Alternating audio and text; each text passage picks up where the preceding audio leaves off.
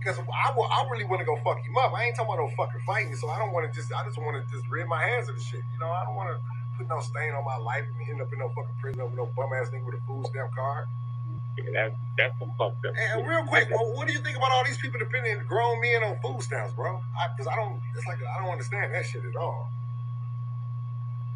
If only if you, you know, if the person on food stamps, they would. If you ain't on food stamps, man, you, you know that shit is a bitch shit. I mean, what fucking dude gonna have that unless you got your kids, you got kids, you just a single dad.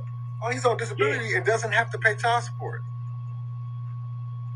Damn. Hey, man, Steve, they don't have to pay child support. Yeah, that nigga really is fucked up. Yeah, and then he still don't do that for his daughter. That's why his girl put him out. She said she asked him for some money. He was over there for a month eating up all her, her daughter's food and shit. And she asked him for some money when his check came, and she said he didn't have nothing. And the only reason that he stayed there an extra couple of weeks is because he ran out of food stamps. I got all the audio for that as well. Yeah, I don't get that. You know, I can't. You know, that's some. That's beyond me. But I ain't never heard of a real nigga try to get on food stamps. I mean, I just go get a job, go get your hustle on. But nah, I never. That food stamp shit is Man, he on Section 8 and food stamps, bro. man. God. Now, where does nigga live at? Um, they got him in some kind of subsidized housing. It'd be a, it'd be a train going over his head every uh, 30 minutes. He's screaming and shit. God, Nigga's a bum, bro. He flunked out of special ed. He ain't got no car. He never had no job. I got um, screenshots of him begging for people to help him donate money to him to get an apartment on Twitter. Nigga's a whole bum, bro. He been talking all this shit. He trying to reinvent himself, stalking me. yeah, that shit But he still ain't he still ain't elevated his life though. Nah, he felt miserably, man. His shit is fucked up, and the, the way this shit sound, and he might go to jail. So I mean, goddamn, man. he going to jail. That's, that's that's a guarantee. I wouldn't even be talking about it if it wasn't real. I just want him to feel it because I know he gonna cry. He gonna go live and give me some more evidence to send to the feds. Even though I'm telling him, he's still gonna do it Well, I mean, because go he's, to he's gonna he's gonna try to fight his case on YouTube and he's just gonna give me more evidence. He's probably just gonna ask to see, you know, what, what could be done instead of, you know, you go that route. Can y'all, you know, squash it out? Can y'all do whatever? I mean, nobody want to go to goddamn jail. I know, man. I sure would.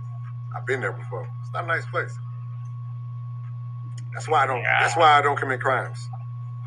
Right. I mean, Yeah. I've been before, and I don't. I, I, my younger years, I ain't trying to do that dumb shit again. Oh man, I, I, I, got him on so many different things. I, he might be doing longer than ten.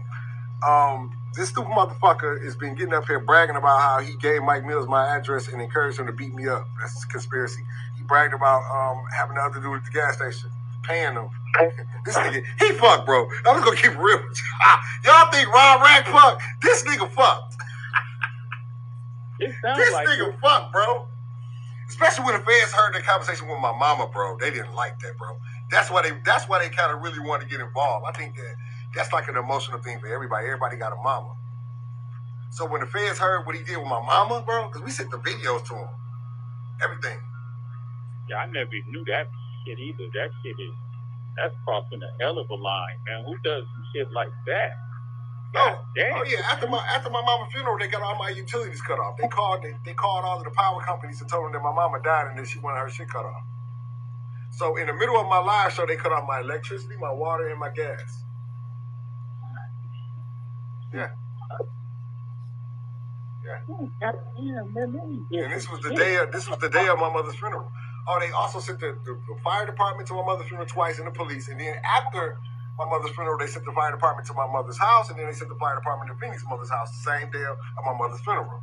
And then the same day of my the same This is day all Reo or Yeah. just the second? this is all of them. They working together. They was all working together. So um and then after after my mother's funeral, they got all my utilities cut off. So I had to go. I had to go put everything in my name and pay. Um, you know, you got to you have to pay the little fee to get it cut on and all that. Yeah, they they, they cost cost me a pretty penny after that. And I done seen them get killed for half of this shit. yeah, that's what I'm saying. So I think jail is a better option than me taking them off earth. Yeah, yeah. I, I kind of agree. He gonna have to do some time though. Fans always want some time.